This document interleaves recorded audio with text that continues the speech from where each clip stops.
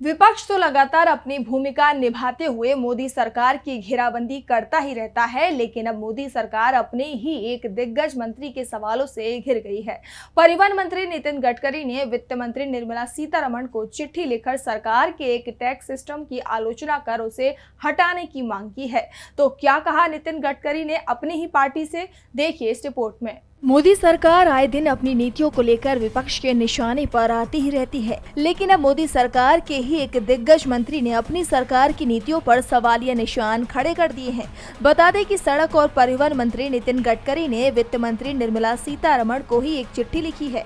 चिट्ठी में गडकरी ने लाइफ और मेडिकल इंश्योरेंस प्रीमियर से जीएसटी को हटाने की मांग की है। बता दें कि इस प्रीमियम में अठारह प्रतिशत की जीएसटी वसूली जाती है, जिस पर गडकरी ने आपत्ति जताई है। उनका कहना है कि लाइफ और मेडिकल हेल्थ प्रीमियर पर 18 प्रतिशत टैक्स लगाना ज़िंदगी की अनिश्चितताओं पर कर लगाने के जैसा है।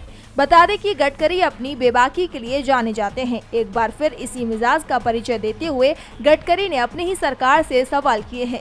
अब तक तो विपक्ष ही सरकार की नीतियों पर सवाल उठाता रहा है, लेकिन अब मोदी सरकार के मंत्री भी खुलकर अपनी ही सरकार की नीतियों पर उंगली उठाकर उसमें बदलाव की मांग कर रहे हैं। और उस पर नितिन गडकरी जैसे दिग्गज केंद्रीय मंत्री का वित्त मंत्री को पत्र लिखना इस बात को पुख्ता करता है की बीजेपी में सब कुछ पहले जैसा नहीं है। अब सरकार की खामियों को विपक्ष के नेता ही नहीं, बल्कि उनके ही मंत्री खुद ब खुद उजागर कर रहे हैं। डीबी लाइव की रिपोर्ट।